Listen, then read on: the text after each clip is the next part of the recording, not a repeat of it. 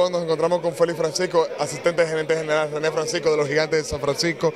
Félix, un hombre experimentado, un hombre que ya conoce la liga bien y que ha sido gerente de dicha liga escoger a, Wilmer Defoe, un jovencito con gran talento en el campo corto, añadir otra eh, pieza importante. El año pasado tuvieron que depender de Jonathan Díaz, en esta oportunidad depender de Defoe en algún futuro, ¿no? Esa es la idea de, los gigantes. Sí, claro, tratar de llenar las necesidades hacia el futuro. Defoe es un jugador que tiene la combinación de poder y velocidad, en un jugador del medio siempre interesante.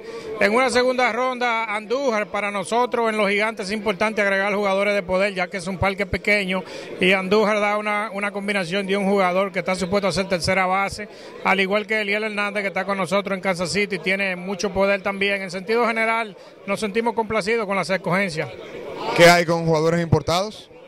Bueno, hasta ahora el equipo ha anunciado varios jugadores, como el caso de Xavier Shocks, de, de Kevin Puseta. En sentido general, la mayoría de las contrataciones se han hecho, pero ya eso le toca al departamento de prensa ir anunciando a esos jugadores.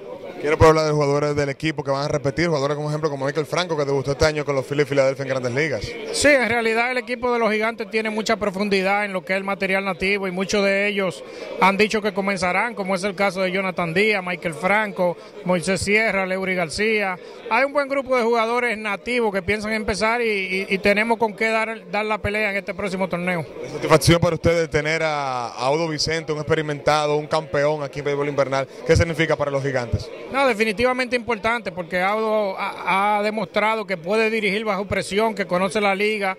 Es un manager agresivo que del otro lado a mí siempre me gustó ver la forma que él dirigía y sin duda alguna es una gran ventaja tener un dirigente que ya ha sido campeón en una liga que se juega con tanta presión. Bueno, Félix hermano, muchas gracias, muchas bendiciones y suerte para los gigantes este año. Calme atrás. Gracias a ustedes. Ahora es dando cacao, a dar cacao. Ahí estuvo la palabra de Félix Francisco para naciondeportiva.com.